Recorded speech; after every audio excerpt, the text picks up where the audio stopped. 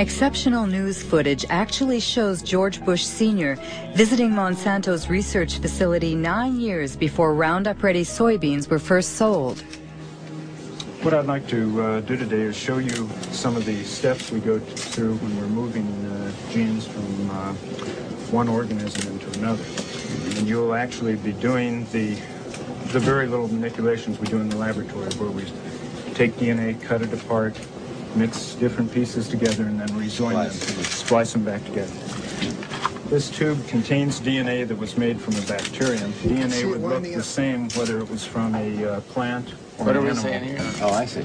And this will lead you to do what? To have a stronger plant or a plant that's that's uh, In this- resists uh, In this, bugs? case, in this case, it resists the herbicide. I see. We have a fabulous herbicide. This is a chemical that will When George Bush Sr. toured the company's headquarters, he was Ronald Reagan's vice president, and deregulation was this Republican administration's watchword. The intention was to boost industry by eliminating what White House hardliners called bureaucratic hurdles, like health and environmental safety testing, which were Monsanto's key problems.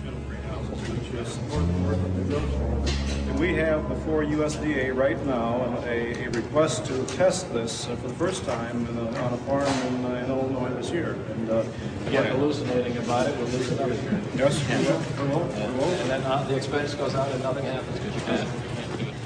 Yeah, and I would say, quite frankly, we have no complaint about the way USDA is handling it. Uh, They're going through an orderly process. They're making sure that as they deal with these new things, they do them properly. And uh, now, if we're waiting until September and we don't have our authorization, we may say something different. Call me. We're in a dereg business. In 1988, when George Bush Sr. was elected President of the United States, Dan Quayle became the new Vice President. Four years later, he announced the American policy concerning GMOs, drafted just as Monsanto had wanted. We are taking this step as part of the President's Regulatory Relief Initiative, now in its second phase.